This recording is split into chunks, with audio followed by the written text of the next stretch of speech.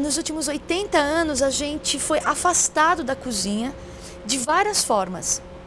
Uma das formas é um, falando pra gente que cozinhar é difícil e a indústria é, colocando assim um monte de coisas prontas e tal e falando nossa você vai cozinhar? A gente faz a sopinha para você e para sua família. A gente faz o, a pizza para você e para sua família. Aí ficou aquela história assim quem cozinha não lava louça como se fosse um trampo. Tá muito inserido na gente essa ideia de cozinhar é um trabalho e não é. Na verdade faz parte da nossa rotina da gente cuidar da gente mesmo né